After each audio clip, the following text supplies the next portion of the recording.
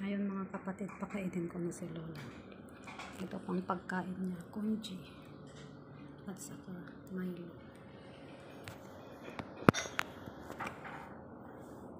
Sikpan po po. Sikpan po po. Taste it if hot. Taste it. Taste it. Mohit ah. Mohit ah. Mo? Mmm. Yummy ah. Hindi, hindi po siya maka, makahawak ng ito kasi strap.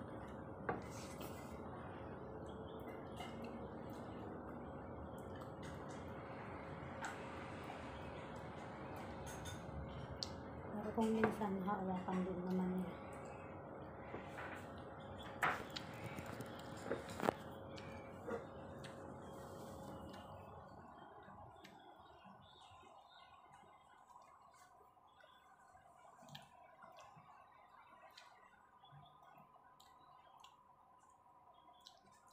Leia Sikpana.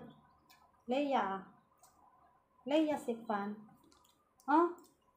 Leia Sikpana. Matigas siguro yung ano. Yung ano ba yan? Iskado.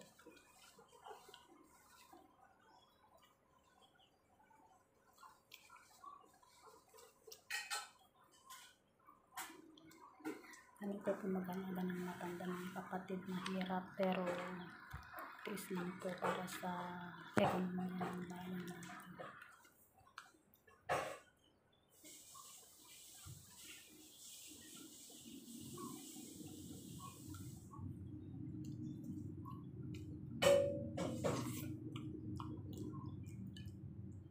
Homeya. Homeya.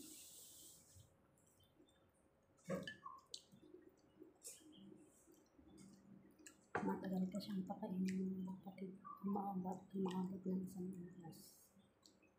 Kasi, konti-konti lang yung ipapakain sa kanya. Kaya dalawa kami dito sa bahay. Pero yung isa day off niya ngayon. Kaya ako lang mag-isa. Pero tumutulong naman yung mga ako ko. Sila nagluluto.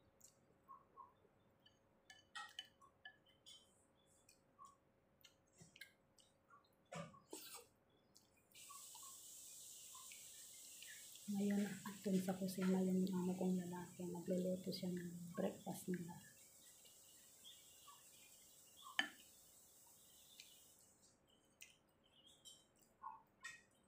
Leia ah. Sek yo Leia ah. Sek ah.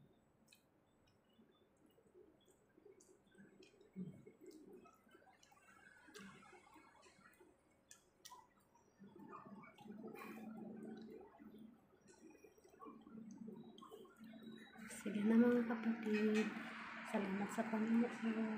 Bye-bye. Love you all.